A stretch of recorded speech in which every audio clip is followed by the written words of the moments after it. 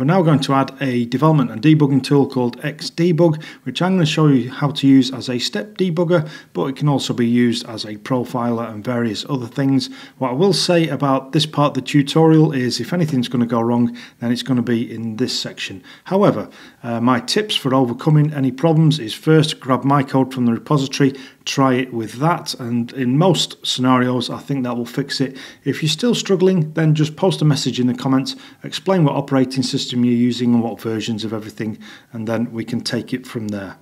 This place that we're going to start is in our PHP Docker file where we're going to uh, make some changes, but also we're going to add some new stuff, and I'm going to talk to you about something called multi-stage builds.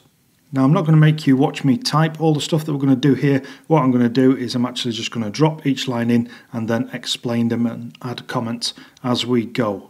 So from top to bottom, here we go. The first one I'm going to add is a really cool image and it's a PHP extension installer and so this will really help us because Xdebug requires a load of other extensions and a load of other software to be installed in order to install Xdebug. However, with this PHP extension installer, that stuff is all taken care of behind the scenes and we can just run a very simple command and so what I'm going to do and the reason I've dropped it in right at the top here is I'm just going to replace what I've already been using to install extensions with the new thing that we're going to use here. And so what I'll actually do is I'll comment out the old command so you've still got that reference but the new command is going to be this and so the first thing that we're going to do here is just set this functionality, which as you can see from the comments, it's quite a common Linux command that you'll see this, but it basically means exit on errors, exit on any unset variables, and print every command as it is executed. And then we are using our new uh, command for installing PHP extensions install PHP extensions and then this part as you can see is still the same as what we were doing. We're installing the PDO MySQL extension. Hopefully all that makes sense and should be fairly easy to follow. The next thing we're going to consider is multi-stage builds. They're not that difficult to understand but they're not that easy to explain. What we're doing here is we're pulling the base image and then each command is just adding an extra layer onto the one build. However, we can take our build here, give it an alias. So if I say from image as app, I can now make a reference to this and start another build on top of that. Hope that makes sense. So I now have an app image from which I can build upon. So I can now say from app as, and then I can give this whatever name I want or whatever alias I want and so I'll call this app dev because what I'm building here, I just want to use this for development purposes. And there are commands which I can run, and I'll show you them shortly, where I can just target this build. I can say, I want to target app dev, which means it will build everything. So then it will uh, build app and then I will build on top of that with app dev. Sorry if that sounds like a really messy explanation, but it's the best way I can think of doing it. And so that makes it optional. For example, if I didn't want this stage of the build, then I can run a command where I'm saying just build me this part. And so we can have that for production where we don't want to build and add our dev dependencies like xdebug and then we can have this further build where we say okay build this and then we can add xdebug and that's exactly what we're going to do. And I'm going to drop some resources on top of there. Just a couple of links you can go and look up multi-stage builds and you can go up and look at go and look at targeting certain sections of builds. Okay let's make a little bit of space for ourselves here. So like I say Xdebug has different functionalities. You can use it as a profiler you can use it as a Uh, step debugger or you can just set it to off because it can be quite process heavy and quite intrusive. And so as a default we are going to actually set the debug mode to off. And then we'll be able to just pass in an environment variable. So have we covered environment variables? Yes we did it earlier here where we set composer allow super user and we can pass that environment variables in like this way. So we're given a default value of off, however when we go to run the command to spin up this container we can set it to whatever and we're going to be setting it to debug for our debugging needs. The next thing we're going to need is some special PHP configuration in order for Xdebug to work. So we're going to have to go and create an INI file which has some settings inside of there. We've not created it yet, but this is the path that we're going to use. So this is going to be uh, confd in our PHP folder here, and we're going to call the file xdebug.ini, and this is going to be the location where that needs to be copied to in our container. So we're going to take care of this file in a moment, but we'll finish off this file first. Our final step is to install Xdebug and so we're using our new installer here for PHP extensions. What I can tell you is that if we weren't using this, this command would be a lot longer and a lot more prone to errors and this is really good. It takes care of everything for us without us having to worry about having all the right software and things installed in order to install Xdebug. It's a real lifesaver actually. Next we need to create our xdebug.ini file inside of this location. So inside of PHP we'll create a folder called confd and then in there we're going to create a file called xdebug.ini. And then behind the scenes, I'm just going to drop in the information that we need. Okay, so this looks like quite a lot of information for what is essentially just one setting. So this is basically the information that is important to us. The host has a changing IP address, so your host computer, or none if you have no network access. So it's saying we recommend that you connect to a special DNS name host docker internal, which resolves to the internal IP address used by the host. So your IP address used by the host can be quite fluid, it can be changing. And so by using this, it means that internally Docker will know where to connect to that host. And then just bringing your attention to this line at the bottom, it's for development purposes only. This won't work in a production environment outside of Docker Desktop. So you won't have Docker Desktop in a production environment anyway. The links at the top, they just link to information on pretty much the same thing. In fact, this spiel I got here, I think I got it from this link anyway. Feel free to check it out if you want more information on that stuff. Okay, we are now on the final stages. We need to go to our Docker Compose file and we're going to add some new entries to our app service. And the first one is regarding our build. So if you remember what I was saying about multi-stage builds and targeting different stages. So for development, I'm going to say, yes, I would like to actually build this stage here, app dev. And so in this file, I would say, yeah, I want to target this stage here and so underneath the where it says Docker file, I'm going to say app dev. For my production build, if we go to our other Docker compose file,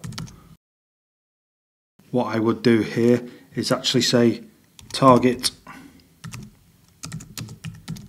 app and then it would only build as far as here. And so again, just to reiterate what will happen with the dev build, it will build this stage, which is all of this, and then it will take that and build on top of it with app dev. And the reason we're doing it this way, if it's not already obvious, is that we don't want to be dropping debugging tools into production. It's only something which you want locally for your development. Okay, next I'm going to add a new volume mounting, and this will be for our xdebug.ini and then on the end of this I'm just going to append this here RO and RO means read only because this is not something that we want to be writing to in our container. We've set our configuration. We're happy with it so we're just going to leave it as read only. Next under environment variables I'm going to add a new one and this is going to be the same as what we put in our docker file and this is xdebug mode. And so this funny syntax that you see here what we're saying is if we don't have an xdebug uh, mode environment variable being passed in, then default to off. So it's a colon, a hyphen, and then the default value that you want. So xdebug mode will always default to off. And it's going to be when we actually run the docker compose up command that we will set this xdebug mode environment variable. You can do it in a .env file, that's an option, but I'm going to show you how we can do it from the command line as well. This final one will be extra hosts. So if you recall what we said about host docker internal in our xdebug.ini file, This setting here that we're using basically is so that this will work with Linux. And so if you are using Linux, then you need to add this extra host here in order for this to be defined for Linux. Okay, that's been quite a lot of work, but I think we're ready to spin this up. What I will say is just make sure that your files look exactly the same as mine, because if you get any parts of this wrong, then it definitely won't work. This is the most fiddliest part. Okay, so the command that we need to run, docker compose hyphen -f, we're telling it to use our dev file because in there we have specified that we are using app dev as our target for the build, so that's very important. And we've made changes to our Docker file, so here I'm saying build, and hopefully this will work.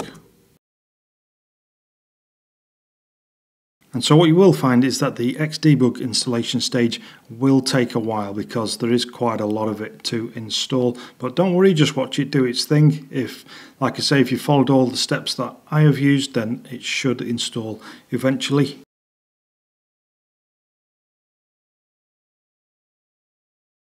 Let's go and try this out. So if you've ever used PHP info, we're going to use one called uh, xdebug info. So in app public index.php, right at the very top, just underneath our opening PHP tag, just drop this in there, xdebug info.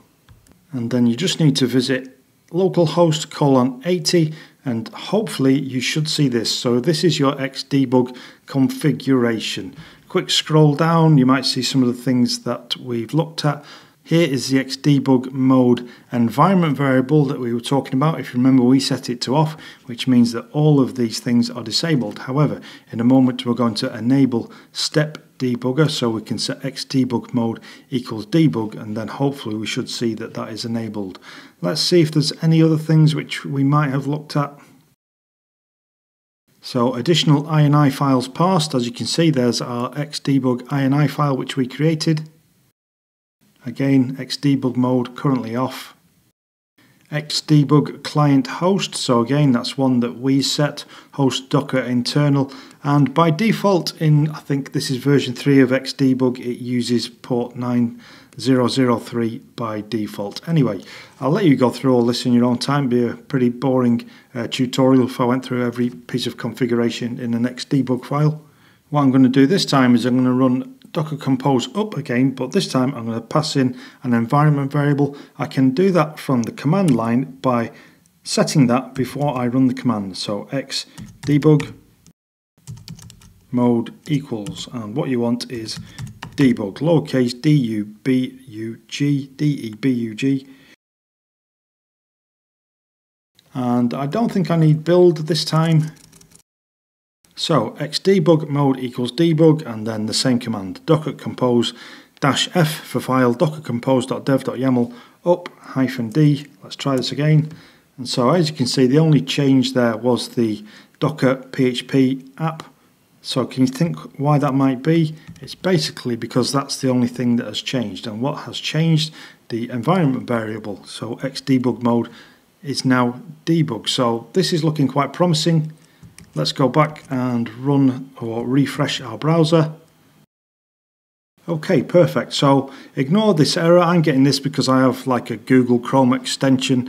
Uh, I've got my little Xdebug thing enabled there. I'll talk about that in a moment. So I'll turn that off. But the thing that we are looking at and the thing which is currently making me happy is that Xdebug or step debugger is now enabled. So hopefully we should now be able to go and start using that and stepping through our code. For actually running Xdebug, I have this nice simple setup where I use this Chrome extension called Xdebug Helper and I can just enable this little bug here as well as enabling this little telephone thing here. And then uh, when I run the request it'll just first come up with like a pop-up which will say do you want to accept this request? And it'll show me some configuration such as the host etc and then it's up and running. If you're not using that and whatever IDE you might be using uh, the configuration might be a little bit more involved but do a bit of research on it. You'll soon find the information that you need. Let me talk you through how it's going to work for me or let me give you a demonstration of how this works for me so first off in index.php I'll remove this because I don't need it now. And then what I'm going to do is I'm going to put in something called a breakpoint here. So this isn't actually an Xdebug lesson by the way. This is a uh, tutorial on installing Xdebug in Docker for development purposes. But it wouldn't be a complete uh, tutorial if I didn't actually show you it working. So I put in something called a little breakpoint or a breakpoint and then I go and enable my bug here debug. The other stage that I need to do is I just click on this little telephone so it's now listening for debug connections as you can see from the little tooltip thing there. And that means that I can just go and uh, hit refresh or hit enter on this.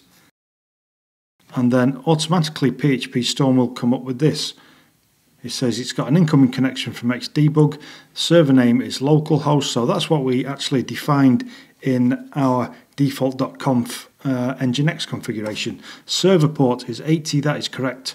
File path on server is this, and that is correct. So I'm going to accept that. And so now we are actually at this stage. It has stopped here. And I can inspect all the different variables which are set.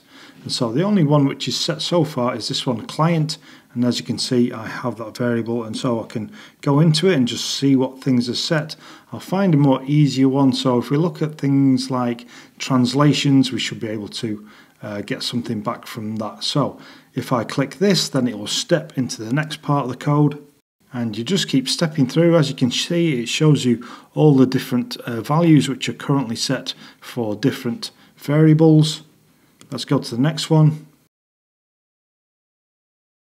Okay, and then once I step over languages, means I now have uh, the languages variable there. So I've only got three, very, three languages in my database. Let's go and inspect these. And so as you can see, the first one is an instance of language because I created a language model and it has an ID one, an ID of one, and a name of French. And so I've also got inside of there one with an ID of two and a name of German. I'm sure you get the idea. So as you can see, nice, pretty powerful tool here. You can do uh, quite a lot with Xdebug. Really good if you're working on a code base that you're not familiar with. You can just go stepping through the code, seeing which variables are set, seeing how things are getting set, etc. But like I say, this is not an Xdebug tutorial. If you did get to the stage where you were able to print out Xdebug info and debug was enabled, then I'd say well done. You've got all the hard work out of the way. And then if you want to use this tool, then just go and find some videos on YouTube on how to use it for your IDE. You'll soon find the information that you need.